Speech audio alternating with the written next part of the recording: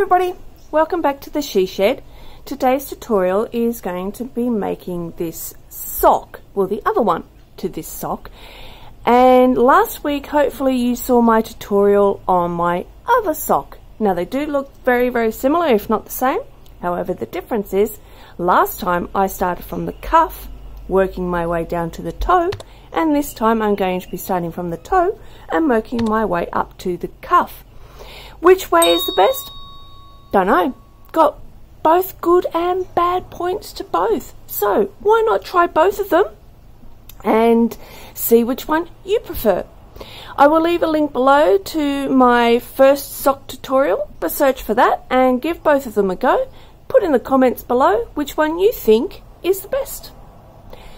Alright, so what am I going to be using? I am going to be using this Cozy Wool. It is 100% pure wool.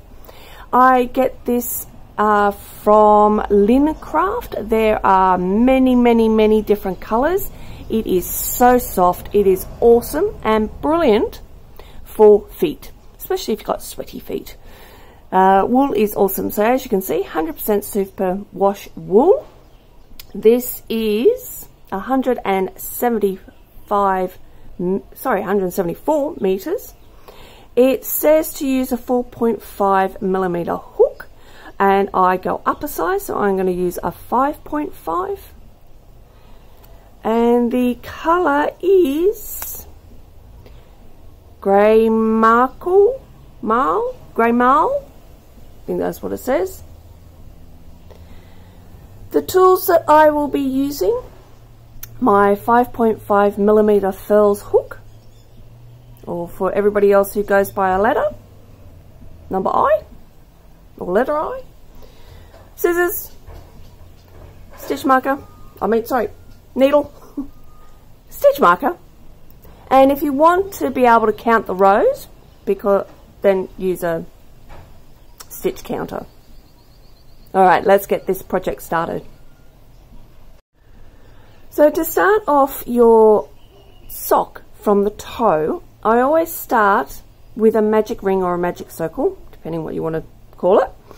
Start with the tail in the palm of your hand, and you're going to be wrapping around your three fingers. Come across like you're making an X, and I hold it with my pinky. Then get your hook go underneath that first wrap, pull the second wrap under, the top wrap under, and twist. Then go back over and get that top wrap again. This is where the tricky part is. And then pull that through, like so. I'll repeat that again. Putting the yarn in your palm wrap the yarn around your three fingers and cross over hold it with your pinky. Get your hook. Go underneath that bottom wrap. Pull the top wrap through and as you're pulling it through twist. Go back over. Get that top wrap again and that's the tricky part. And pull that through that loop that you created on your hook. Now you can take that off your hand. I'm going to chain one and now we need to work eight stitches in that ring. So these are all going to be half double crochet. That's the stitch we'll be using throughout. So yarn over, go into the ring, grab your yarn, pull it through, then grab your yarn and pull through the three loops on your hook grab a yarn, go through the ring, grab a yarn, pull it through, grab a yarn and pull through the three loops on your hook. So we've just created two and now we have to do eight in total.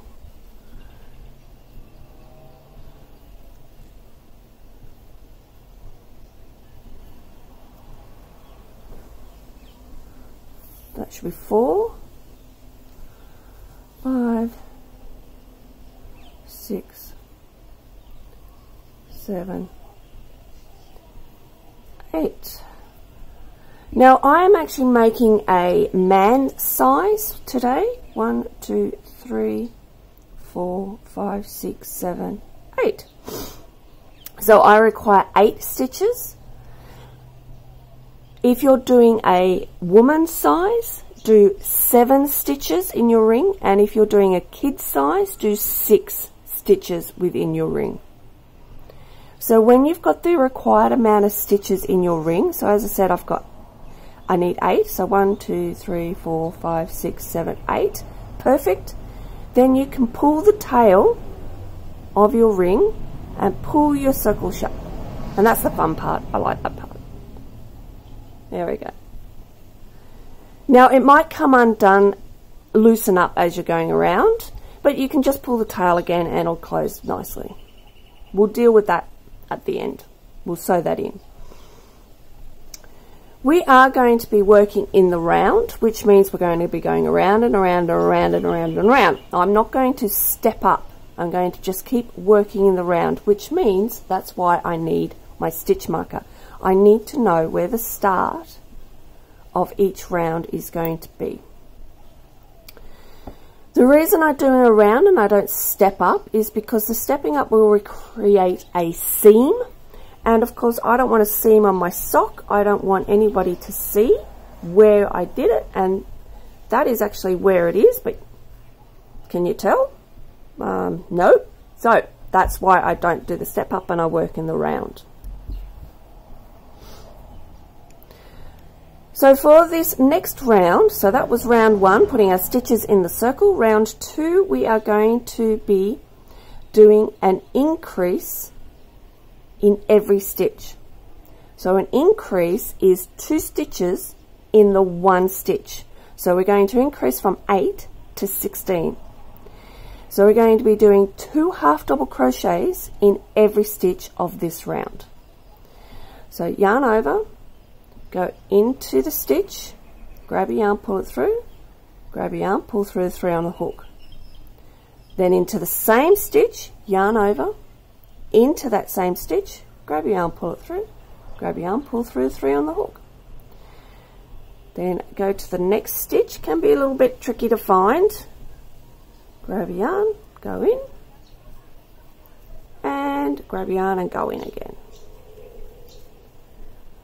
and do the next one.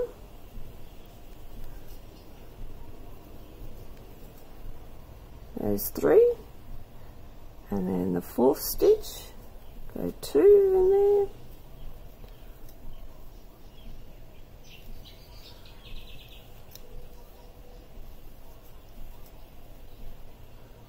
Sixth stitch. Seventh and eighth.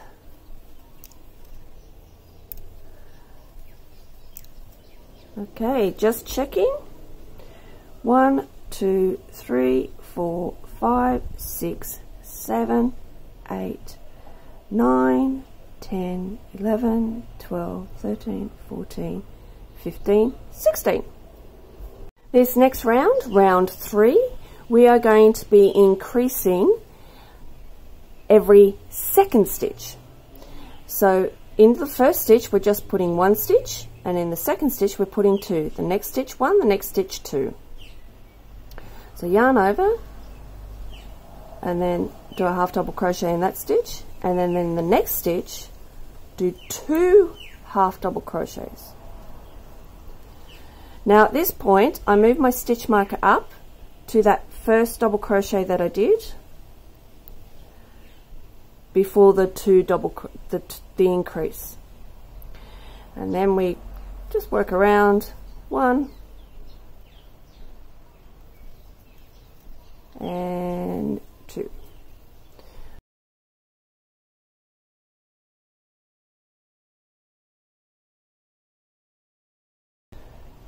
one and where you put your stitch marker, that stitch just before it should always be a 2. So an increase. Okay, so the next round, what we're going to be doing is increasing at every second, sorry, every third stitch. So single crochet, half double crochet in the next two stitches and then you increase in the third stitch. So let's go a single one, next stitch, another single, that's two, and then the next stitch you're doing your increase. So two half double crochets in that stitch. Then the next one, one, and then find the stitch, one, and then the next one is two, one, two.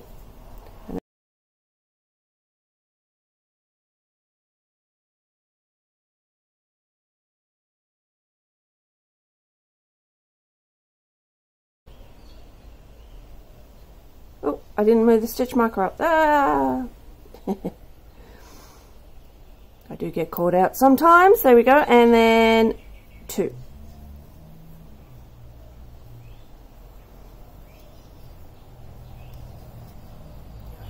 Okay, at the end of that round, which is round four, you should have 32 stitches. So just make sure you've got 32 stitches. And then when you have, we've finished our increase and we're going to be working our way up the sock. So we're going to be working in the round for 24 rows. Now that is making, so we're doing the foot here, and that is making for around about a size 10 or 11 foot. If you want a shorter foot, just do less rows. If you need a bigger foot, just do more rows. So all we're now going to be doing is working in the round for our 24 rows.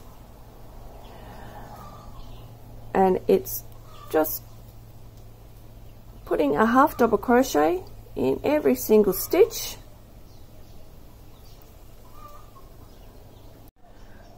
So I'm going to be moving my stitch marker up next to that increase there and that tells me that that increase was the last round of our um, increase rounds and when I do my stitch in there that'll be the end of the first row. So you can use your stitch counter to count how many rows you are doing. I actually find it quite easy to count from my last increase there and just count above and so all you're going to be doing is just literally working around and around and around and around and around and around until you've done your 24 rounds. And just keep counting your rows as I said from that row just above that last increase stitch. And when you've got your 24 rounds I'm going to meet you back here and we'll work on the heel after you've finished your 24 rows, or however many rows you require for the length of the foot you're making this for, we are now going to do the heel. So we need to bring the heel out, then we'll work our rows to make the middle part, and then we'll bring the heel in. So we're going to start by increasing to bring the heel out. And for a men's sock, which is what I'm making, we're going to do five stitches with an increase in every stitch. Now, if you want to do the female version of this, it is um, eight stitches we're going to increase by, so it would be four stitches. If you want to see how to make the female sock, how to make the heel and everything is exactly the same as when I did the other video which um, you'll see here and the link is below and please refer to that. For this one I am just doing the male sock. Okay so we're, for the next first of all bring your stitch marker up and mark the end of that last row and so what we're going to do now is put a um, increase in the next five stitches. So that, remember, is two stitches in each of the next five stitches. So that's one, two,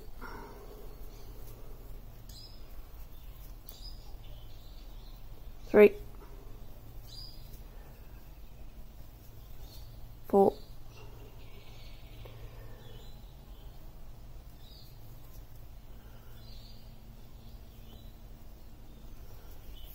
So just checking one, two, three, four, five. And then just do a single half double crochet in every stitch until you've got five stitches left.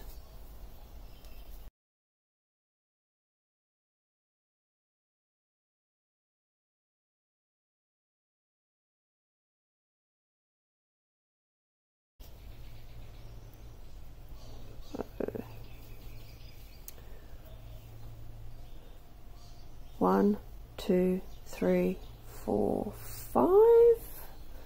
One there. So there we go. We've got five stitches left.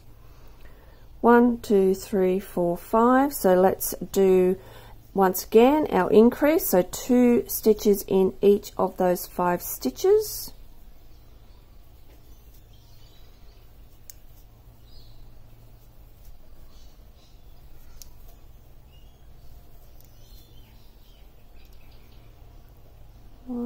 last one. Okay, so that's one, two, three, four, five. Okay, so, and then the next row, and the next, well, I should say the next seven rows, just putting a half double crochet in every stitch. So no increase, just plain seven rows of half double crochet. So remember to bring your stitch marker back up so there was my last increase. Let's go into the stitch before that. And do seven rows. So once again, remember you can either use your stitch counter to count your seven rows or there's your last increase, seven rows above that last increase. So I'm going to continue doing my seven rows off camera and I'll meet you back here when I have finished those seven rows. After you have completed your seven rows, now we need to bring the heel in. So as on here, we've done this bit here now, and we need to bring it in. So what we need to do is now decrease on the next 10 stitches. So how to do a decrease? First of all, bring your stitch marker up. Put it in the last stitch of that row you've just finished. And for a decrease, we're yarn over, go into that next stitch, bring a yarn through, and then go into the next stitch, bring a yarn through, yarn over and through all the loops on your hook. So that's one decrease. Yarn over, into the next stitch, bring a yarn through, into the next stitch, bring a yarn through, yarn over and look through all the loops on your hook. So that's two, three, four, and five. So that is five stitches decrease, so 10 stitches altogether that we went into, which makes five decreases. So one, two, three, four, and five. So now we are going to do a half double crochet in each stitch no more decreases until we come to the last 10 stitches so just work your way around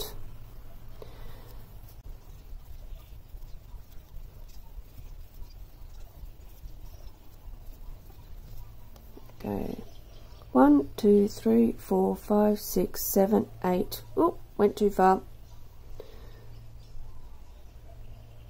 let's count again one, two, three, four, five, six, seven, eight, nine, ten. Excellent. So now what we're going to do is do our decrease again. So 10 stitch decrease, which brings five, if that makes sense. So that was one, two, three, four, and the last one, five. Okay, so that is the heel done. There we go. Now what we're going to do is go back to working in the round and you're going to be doing 20 rows. Now, oh, don't forget to bring your stitch marker up. So put that stitch marker in the stitch just after that last decrease you did. And remember, when you're counting, you can either use your stitch marker or there's that decrease and count up from that decrease. So I'm going to do 20 rounds and this is for the leg.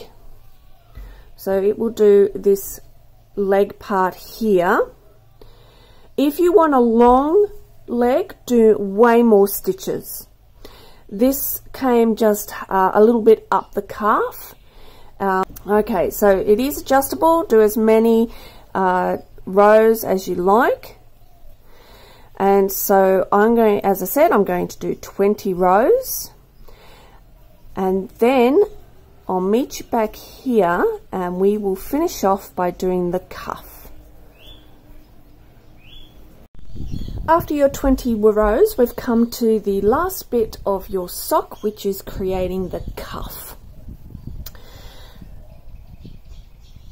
So the cuff is easy to create. It is doing front post, back post, double crochet. So let's move the stitch marker up to the last stitch of your last row. And how do we do a front post, back post? So front post, yarn over,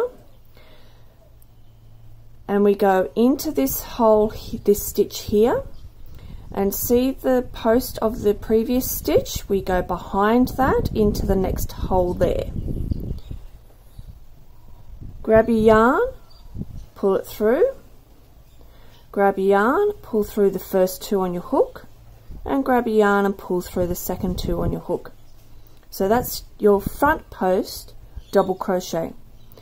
Now a back post double crochet is going behind your work into that hole there, going in front of that post of that stitch into the next hole next to it, grab your yarn, now pulling it through can be a bit tricky, so I often hold the stitch so that I can pull it through, then grab your yarn, pull through the first two on your hook, grab your yarn, pull through the second two on your hook. And that is your back post. So we're going to alternate between front post and back post double crochet as we go and do this cuff. So let's do another back uh, front post. So going from the front into the hole behind the stitch into the next hole grab your yarn and do your double crochet. And then the front post going behind your work coming to the front front of your stitch next hole bring your yarn through and that's the tricky one because go through and then do your double crochet. So continue doing your front post back post double crochet until you come back to the beginning of the row and I will meet you back here when you are at the beginning of this row. So I've come to the end. There you go. So the last stitch you should be doing would be a back post double crochet and then you see that I've got a stitch here that I haven't worked and that's absolutely fine because I need to do the same stitch on the stitch that I had in the pre in that row. So, because I'm working on top of it and creating a rib. So, because I'm creating a rib, that's fine to skip over that. That's not a problem. So, we're going to do a front post on a front post and a back post on a back post. Front post on a front post, back post on a back post.